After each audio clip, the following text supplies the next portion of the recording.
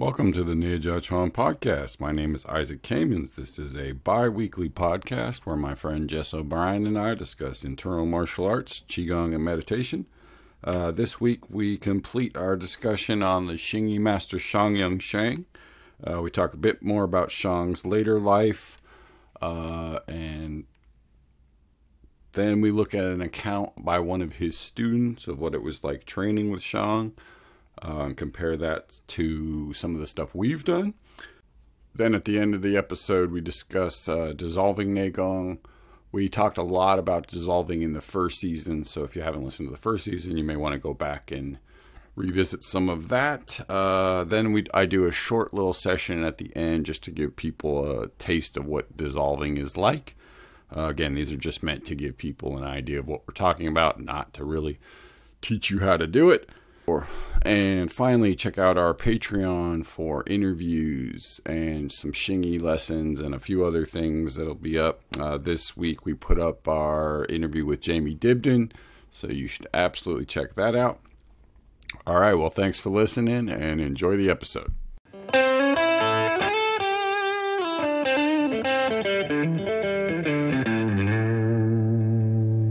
Welcome back to the Neijiaquan Podcast with Isaac and Jess. We're continuing our journey here in season two, discovering a second generation of teachers, the, the teachers of Grandmaster Liu Hung Jie, and exploring some of the martial arts masters of the 1800s and early 20th century. Um, today we're going to talk more about Master Shang Yun Xiang, who was the part of the lineage of Xingyi masters that goes to Grandmaster Liu Hung Jie. And uh, Master is well known for you know, being a brawler and a Xingyi sort of reputation maker back around the turn of the century. Um, so we'll begin with something from uh, an internet site. Shang style Xingyi Tren was founded by Grandmaster Shang Yunxiang, who lived from 1864 to 1937. He inherited the famous nickname Unbeatable Half Step Bung Chuan from his Grandmaster Guo Yunshen. So that's one of his nicknames, as well as Ironfoot Buddha, like we talked about last time. So he inherited the nickname, right? So ah. it was it was Guo's nickname first. It's like a it's like right. a professional wrestler type thing, right? Know? Like got it from the last guy. Unbeatable half step. So I mean, as we talked about before, Bung Chuan is one of the best techniques from Xing Yi. That's definitely very versatile and very strong way of just punching hard. Yeah, and uh, so it's unbeatable. Thing. So that's his, his crushing fist was unbeatable. That's pretty cool. He lived to be 73 years old. So here's one of the things about Shang's bio. Shang was an inspector with the military of five different cities and became the head of house security for the Qing court eunuch and area military commander in chief Li. Um, so it sounds like he's he's working with government officials and he's a security worker for one of the big time eunuchs in the court. He was known for his small limbs and big belly. His belly was said to have shown legendary strength. Many boxers supposedly broke their wrists by punching him in the stomach. So that story keeps going around about something about that big belly Xingyi guy. Yeah. That can be a formidable opponent. for sure. You know, think of Master Hung Yishang from Taiwan. He was known for being huge, and Wang Shujing in Taiwan as well. Big fat bellies with big hard punching. It's like I said. It's like I said last time. It, Xingyi kind of it lends itself to do it. You, you, you know, the art works well with a large frame. Right. In, in a lot of martial arts, being big can be a hindrance. You know, it can make it harder mm. to do the movements. And Xingyi being large, it doesn't particularly hinder you from doing it. That's all. It's not, it's all not very saying. fancy, that's for sure. Yeah. yeah. Yeah, and it doesn't have a lot of like, you know, there's not a lot of jumps or high kicks or, you know, I mean, it's fairly you know low to the ground and fairly about being stable and you know like i said lends itself to large frame. It doesn't mean it only works for a large frame. Right. So talking about his uh, history briefly he obtained his xingyi skills from the from even higher level teacher li tsun Yi, famous uh, for his broadsword skills. Um, and so after that when he was older he learned baguazhang from Cheng Tinghua as well, Li Tsunyi's friend, who is a Bagua master. Shang was well known for his skill with Bung Chuan, one of the five basic skills of Xingyi. Because he was skilled in combat, another Grandmaster, Guo Yunshen, visited him personally to instruct him on Bung Chuan methods.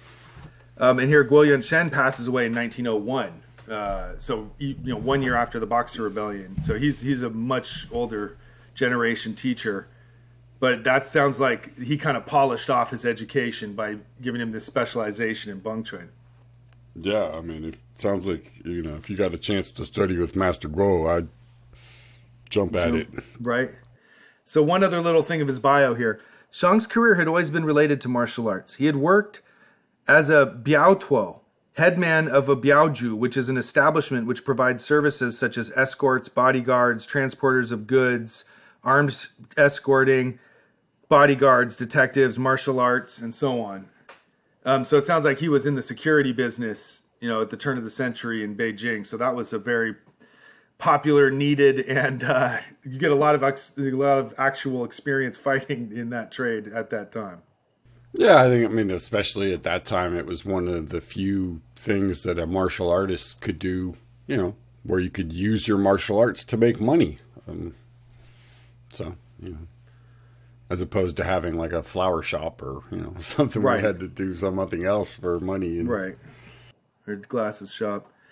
So here, uh, now moving to a different website where we found one of the students of Shang had uh, made some notes um, about a couple of the ways of training. Um, one thing he says is that Hung, that Master Shang said that Hung Jin is the foundation for delving deeply into the Xingyi state system, as stated in the Xingyi classic. Five elements are the mother of Xingyi, and Hung is the mother of the five elements. Hung being the earth element fist, which is the the fifth of the five elements, and is often credited as being kind of the main technique from which all the others are derived. So, looking forward a little bit at the training of of Hung Element, um, I'm taking from this article by Li Zhongchun, uh, and so he says the first thing Shang made him change was the Hung Jin in his body. He had to make it more subtle and not wrap and extend so much. This and just trained simple back and forth stepping and extension and retraction of the hands.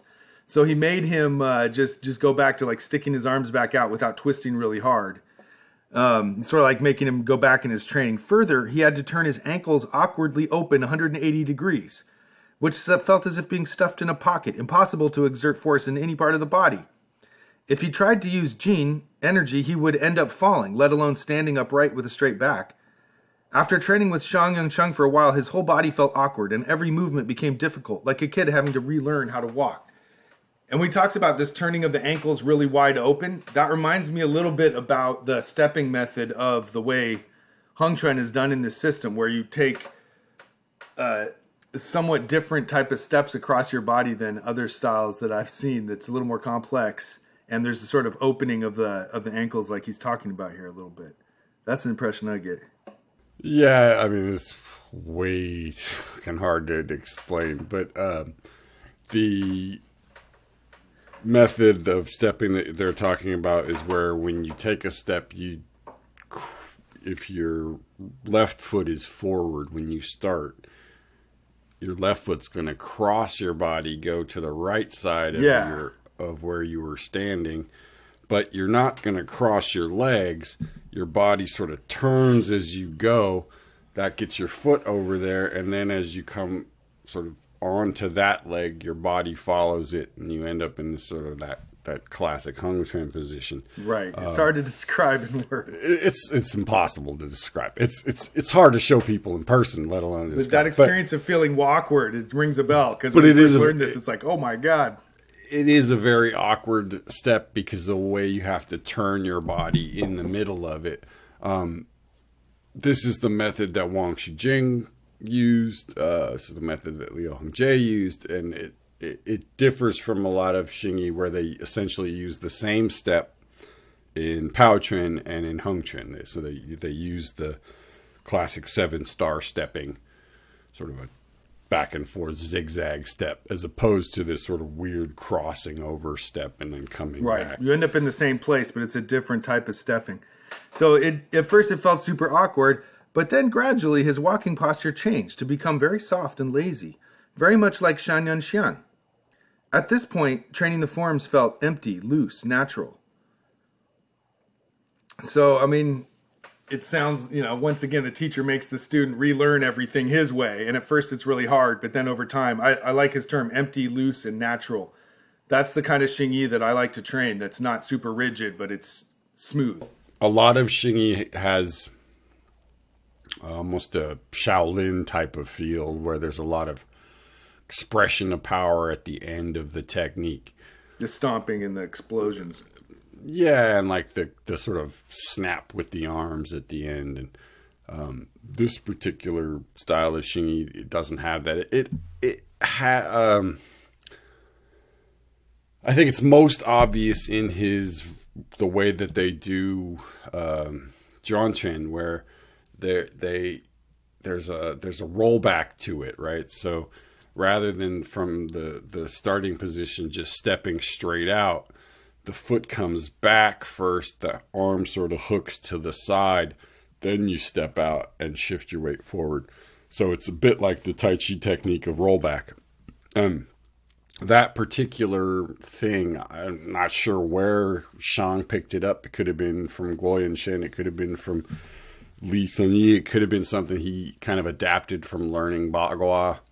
Because uh, to me, it looks a lot like the uh, the sort of teacup exercise from Bagua if you did it in a straight line, um, where you curl your hand under your elbow and then hook it around in a circle.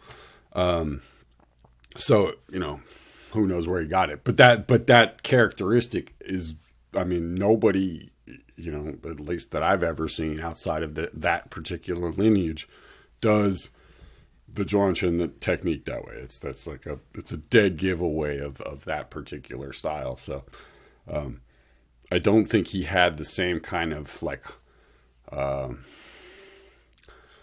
snappy power to it. It was it was more of a flowy kind of thing, a bit more like Bagua or Tai Chi.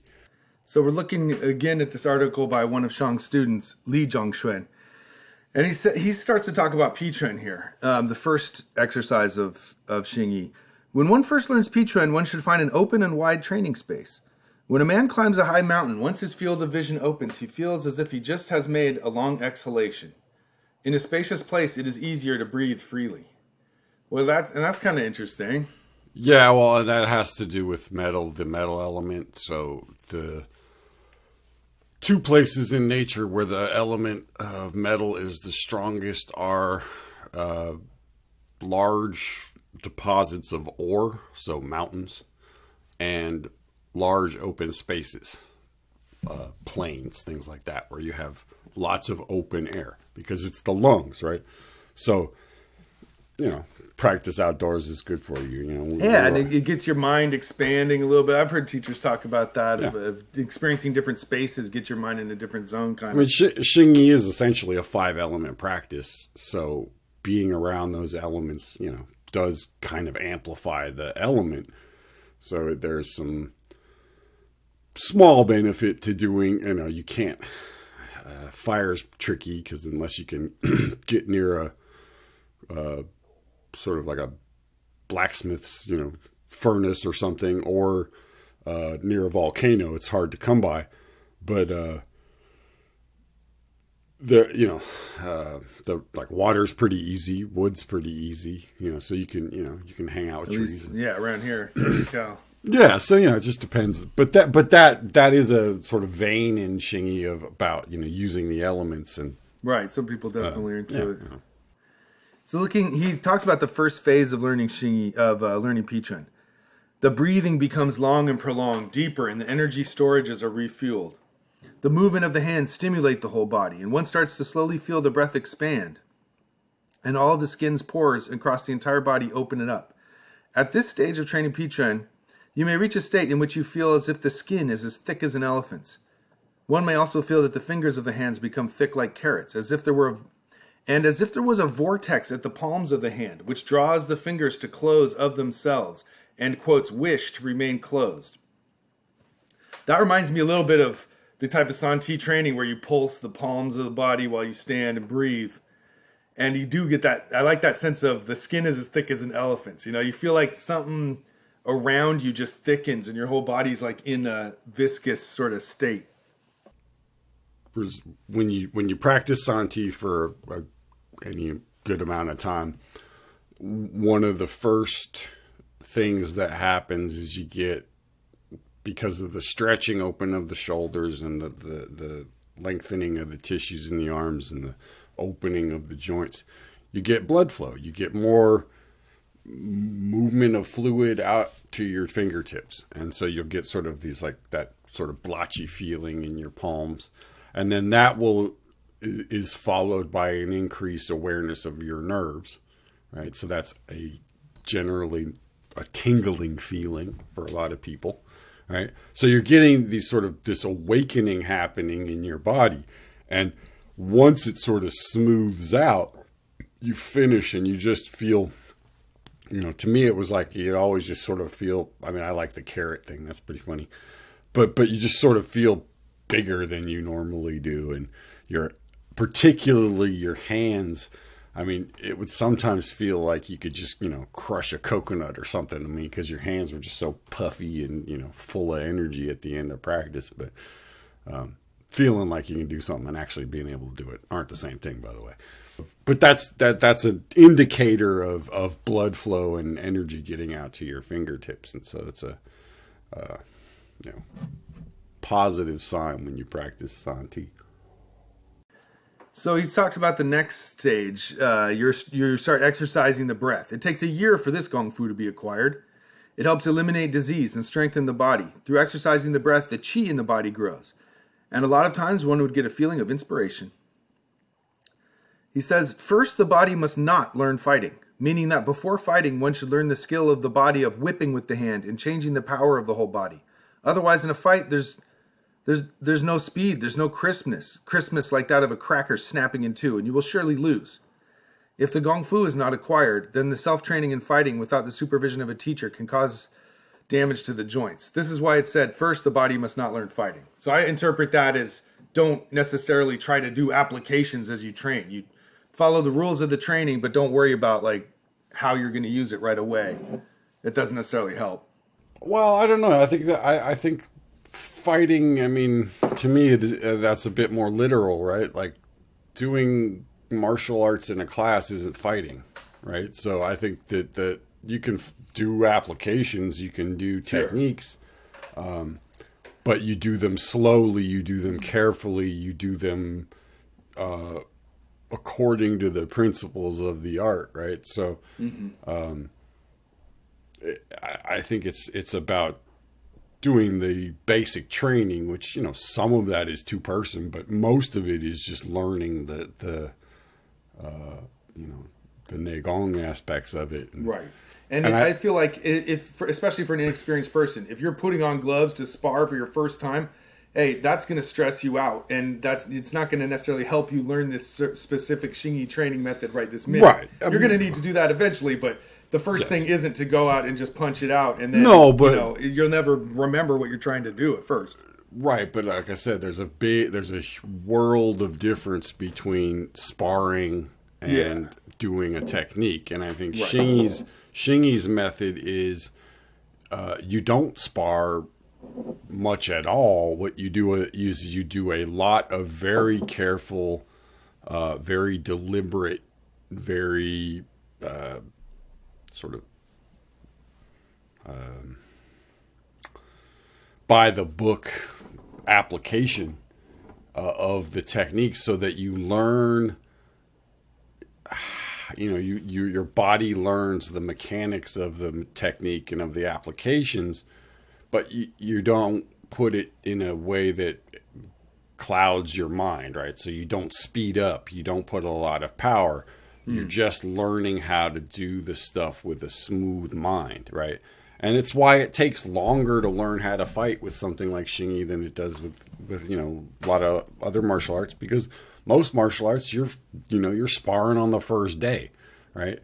He's saying, you know, it takes a year. You got to just develop this like mind and this body, and and once you develop that mind and body, then you can start to, um, you know, to fight. You know, uh, exactly.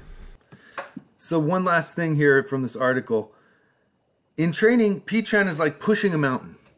The body pushes slowly, section after section, from back to front. The more exhausting the exercise, the better. That's how good Gong Fu is improved. While training fighting, P-Chan is like swinging an axe. The mountaineers swing axes to chop wood, just like a whip, with a sudden, clean whipping action. Otherwise, the head of the axe will jam in the wood and would not be able to cut the log in two with one strike. So he's talking about that sort of sharp whack that you got to do to like crack a log in half. That's the same as Pitren. Moving on to the discussion of Neigong principles within the training of martial arts and Qigong. Um, we've been going through the list here, and now we've gotten to dissolving, which is a, a whole topic unto itself of going inside your body, relaxing, using your mind to, to really feel deep within uh, various places, very specific places, and then trying to consciously let go of tension and releasing it in there. Um, and uh, you know, we talked a lot about it in the first season. It's a huge part of opening the energy gates, just like alignments is. Um, it's great, and I again, just like alignments, it's one of the really key things that stands out about this method of qigong. The dissolving is is highly emphasized, and a lot of schools may have some discussion of becoming relaxed or soft, but this this step by step dissolving inside yourself in different directions, from side to side, up to down, even outside yourself, even in interaction with other people. It's a very extensive study and but at the same time it's pretty profound. You relax from something that's hard and it melts to something that's liquid and it releases either into space inwardly or outwardly into gas is the metaphor. The sort of standard thing that gets done in a lot of Neigong as the basic kind of practice is a you know the microcosmic orbit type of stuff where you're circulating energy. In this particular system, the dissolving is the primary method to get from where you are to where you're going is to dissolve, right? So like you can be doing other things, but the thing that's going to sort of be continuous through that is this sense of relaxing and letting go and that's all it is. I mean, we we call it dissolving because that's what Bruce calls it, but you know, essentially, it's the process of you know feeling a, a place in your body that is blocked and letting your mind just sit with that place and relax it until that thing lets go. But that's only the, the, the middle stage, right? That's where most people I don't say most people, where a lot of people stop is okay, I got the thing to relax. It feels better. I can move on. But there's a there's another stage of this practice where you go ice to water, water to gas, where the, the, the sense of something being stiff releases that's ice to water. But then the sense of that thing that's released going a step further to just completely letting go and letting it sort of dissipate that's this water to gas right? So um, the classic example is you clench your fist right? As hard as you can. That's ice. You relax your fist but it's still a fist. That's water. And then you relax your hand even more till it opens. That's water to gas. And that's the that that ability to do that, you know, with your mind alone, that's the practice. That's what takes years and years and years to develop. But that concept of recognizing tension, relaxing it, and letting it go essentially is the basic, like I said, it's the basis for the martial arts, the meditation, the Qigong, all of it, because it's the it's the method by which you let go of of tension of of a not even just tension. It, tension's a bad word. Blocks like because a blockage could be something that isn't tension. Tension is just the most sort of obvious one, right? Um, so it's it's any sort of blockage, not just a tension. Um, one thing that stood out to me when when I was first learning dissolving and working with you is that it's not just standing and dissolving it's actually during cloud hands it's during the swings it's eventually into your solo forms. Not only that you start dissolving when you do rosho or push hands. If you can keep it up during those difficult even more you know more complex movements it's really it really can expand your mind and your ability to feel and your ability to stay connected and as uh, more as you progressively test it and make it more difficult all the way to free sparring it becomes more and more how would you say burned into your system Yeah, I, I mean, I, I don't, I don't recommend trying to do the practice of ice to water, water to gas while you're fighting. Um, but by then, it better be built into your system from the right know, easier ways. That you do it. The, the the idea is that you do it enough. It's just like opening, closing, or any of these internal skills. That you do it enough that breathing, for example, if you practice it enough by itself, it starts to become a habit, right? And then when you're under pressure, you continue to do it because it's become your natural state, right? So it's not that during a fight you're going to close your eyes and you're going to feel the energy gate in your shoulder relax and that somehow magically that's going to make your hand right. move faster. No, that's completely. It's got to bleed into the two person right. practices. It's, the the right, but the practice of dissolving, you know, if you do it an hour a day, it gives you an ability to release tension in your body so that when somebody pushes on you, you have the ability in an instant to release that pressure and return with something that's not tense, but you're not consciously dissolving. It's sort of like you're not consciously breathing, but if you practice breathing enough, you'll still be breathing deeply in your belly, right? So mm. all of these skills, they have to be learned and they have to be drilled ad nauseum before they're going to become natural. I mean, the, the idea that it's going to take you a couple of months or a year to make these things where you can use them in martial arts is fucking ridiculous.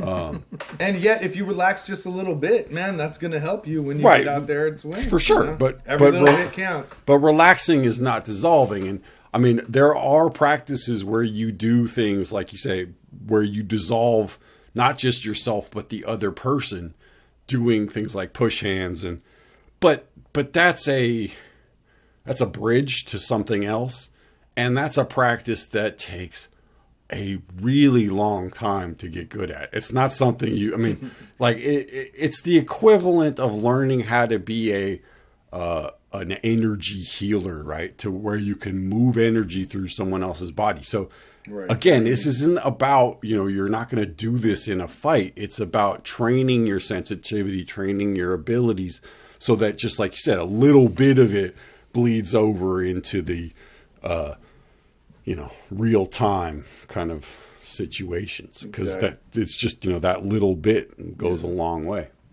right and I, one thing that stands out to me is that sense of say you have been doing a bunch of sparring and you've been taking hits and hitting other people and afterward if you take the time to do a little dissolving, it can actually be a real boost. To, you you find that you were unconsciously clenching an area yeah. from getting punched. If you dissolve that and you unclench that, boom! It's that instead of getting stuck there for months to come, you're able to release that on the spot and then that, absorb that that stuck energy on the spot. So it can be that's really useful that way. Yeah, that's a far more uh, v- useful, valuable goal than trying to think about doing it. Like, don't try to do it while you're fighting.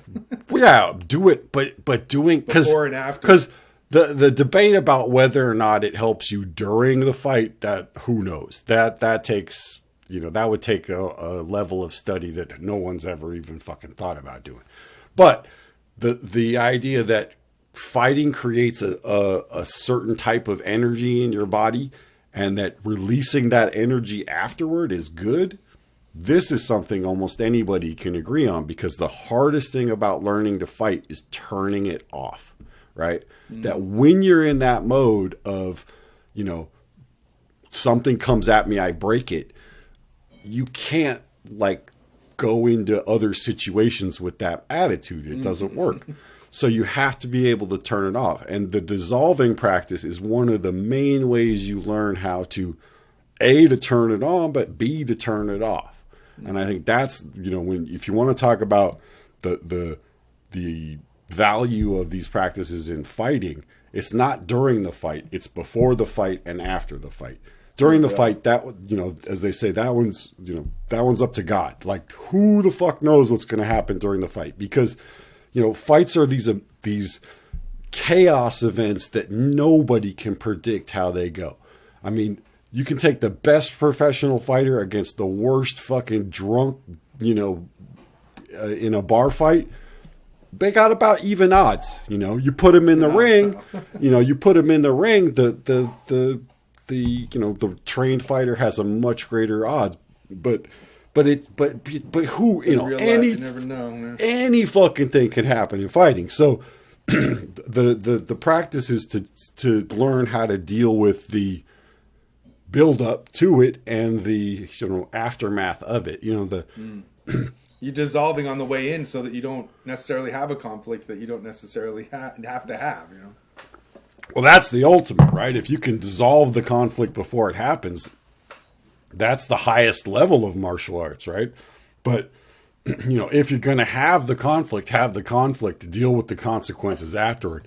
Don't try to like, you know, be some, you know, monk in the middle of it and you know wait. You know, it's just that's like not going to work. get clocked. yeah, you're going to get clobbered. You know, and and Yeah.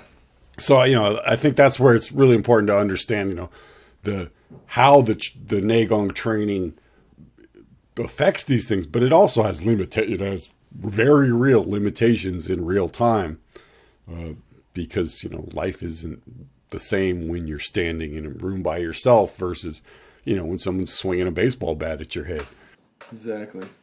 And that's why I've always appreciated his approach in the energy gate system of first you do it while you're not moving. Then you move really slowly and carefully. Then you move with a little more abandon in the swings. And and the whole time you continue your dissolving, progressively more difficult with each of the more difficult swings. And then again, taking it into two person is is yet a whole nother, you know, level of difficulty, a whole nother exponential level of difficulty. But each one, whatever dissolving you can do is going to help smooth the process and help it stick to you better and definitely works taking it into things like you said, doing movement practices is one of the um, best ways to, you know, if you're feeling stuck in a in a movement practice, right? If you start to go through your body and feel how different parts of your body are stuck or tense or whatever the you know glitch is, and you can somehow release a little bit of that glitch over time, you might be able to you know, work out the glitch. It's going to happen faster if you have a teacher or somebody who can help you, but if you don't have that, you know, I mean, I think that's the thing. These these sort of internal practices, they they were designed to be uh, done, you know, sort of with a teacher, but they also have this built-in sort of self-correction mechanism where it's like if you don't have a teacher, at least, well, you do have, you know, your uh, own self awareness of you know your what- sensitivity yeah, yeah, and that's so that's your going to be your guide in the long run either way right Your Right. teacher can't do it for you forever so exactly. So you might as like- well get started now figuring it out because exactly. it's going to be on you in the long run yeah, for sure. all right partner All right, man. great to catch up man Yep. Cheers. bye neigong practice session for dissolving. Uh, this can be done standing still. This can also be done moving in a simple movement like cloud hands or the commencement of Tai Chi. Uh, the first thing you're going to want to do is just feel your body and try to align yourself so that nothing feels like it's leaning forward or back. Nothing's collapsing. So your head is over your shoulders. Your chest is relaxed. Your belly's relaxed. Your spine is straight. Tailbone is slightly tucked.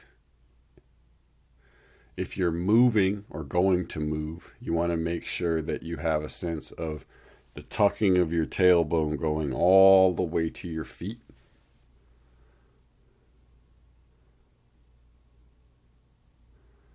And then you want to begin feeling down your body from the top of your head and beginning to let any sense of tension or strength or weakness or any sensation, especially if you don't have a name for it, you just let your mind feel it. You let your mind sit with it until it begins to soften. it begins to have a shape, right? So at first it will just be a chunk, like a block. Then it will start to have a boundary, right? It will you'll feel how it connects to the things around it. You feel the shape of it. You'll feel the the the, the flow and how it how it moves around if you try to push on it, right? It's like when you massage a muscle and at first you can kind of feel it and then it, it like slips and it gets away from you and you got to wiggle your finger around to find the spot again. It's the same sort of thing here. And you keep going, keep letting that thing relax.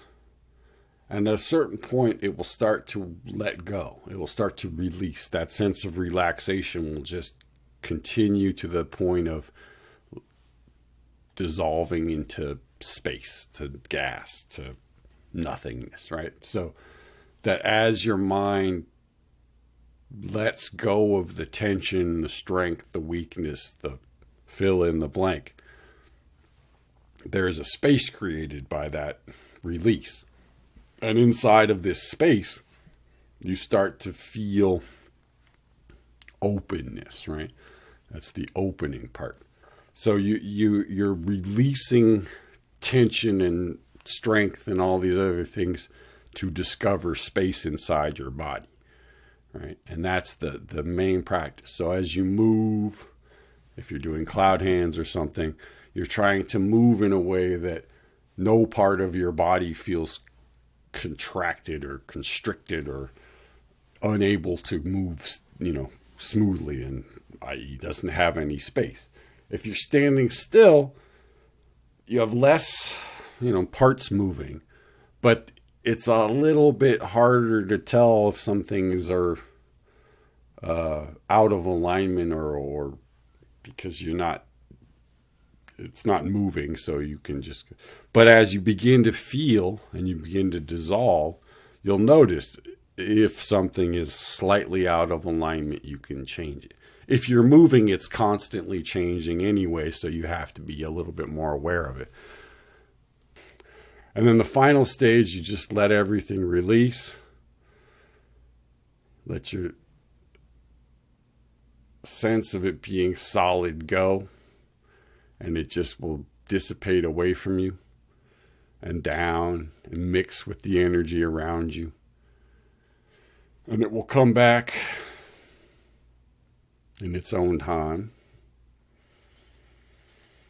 And it just circulates. And so the, the main sort of purpose of this practice is just to have things circulate, right? So the dissolving is a method of releasing a blockage so that something can circulate.